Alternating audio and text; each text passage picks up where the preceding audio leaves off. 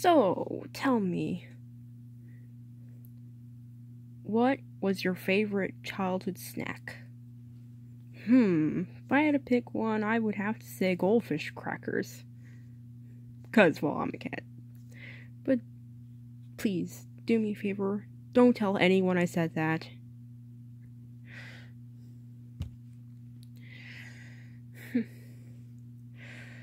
What do you think is the scariest thing ever?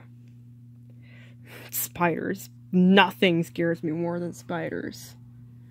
Oh, really? Yeah.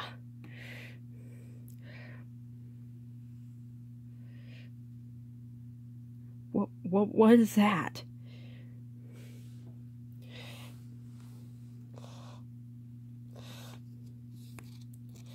Leaping lizards.